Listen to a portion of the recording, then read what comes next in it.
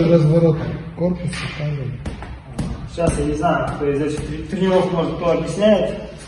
Но я что-то давно уже не слышал, так при Союзе мой тренер Болдырев Станислав Михайлович всегда показывал, нам объяснял, то, что правая рука при правильном ударе всегда летит на 5 сантиметров дальше, чем левая. Ну так же вот в бою. Я бью, я начинаю прощупывать, что достаю уже левой рукой, где-то раз, раз, я если кину правую, я на 100% уверен, что она долетит до цели. Потому что она на 5 сантиметров летит дальше. Вот здесь, если я уже не достаю левую, отсюда, если я кину правую, она долетит до цели.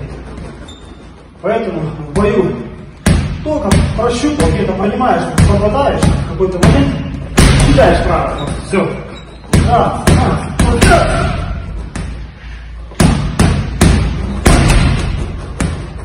Ну, маленький секретик, может, кому поможет.